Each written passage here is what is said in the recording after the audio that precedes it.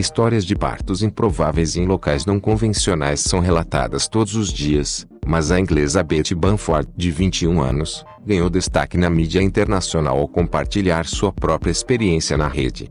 A jovem namorava há algum tempo e vinha tendo seu período menstrual normalmente, de forma regular. Engordar ela até engordou um pouco, mas atribuiu a fome em excesso e o ganho de peso a coisa de gordinha.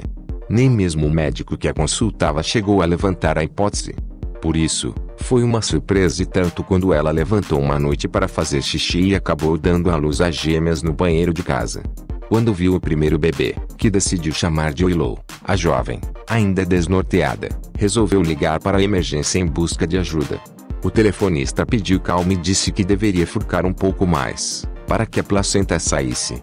Só que a forcinha acabou resultando no nascimento de uma segunda criança, Freya. O parto duplo foi feito em condições inapropriadas e totalmente solitária. Em um banheiro no térreo da casa de dois andares, Beth chegou a gritar socorro e tentar chamar a atenção do namorado, Andy, mas o rapaz não acordou. Não podia sair do banheiro porque estava no chão com dois bebês, relata. Imagine a surpresa do moço quando levantou e deu de cara com a namorada e duas crianças no chão. Surpresos também ficaram os paramédicos, ao questionar o número exato de semanas de gravidez e pedir as anotações do pré-natal da jovem. Eu respondi que não sabia que estava grávida, ou que tinha gêmeos, mas ninguém acreditou em mim. Até meu parceiro achou que eu escondi isso dele. Apesar do susto, a jovem e as recém-nascidas foram levadas para o hospital, onde os médicos as examinaram e informaram que estavam bem. Willow e Freya ficaram internadas por uma semana, apenas para observação, mas depois foram liberadas para ir para casa.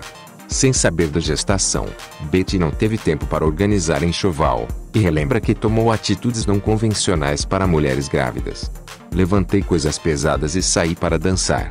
Os médicos achavam que eu tinha uma infecção viral e tomei medicamentos. Nunca passou pela minha cabeça que estava grávida.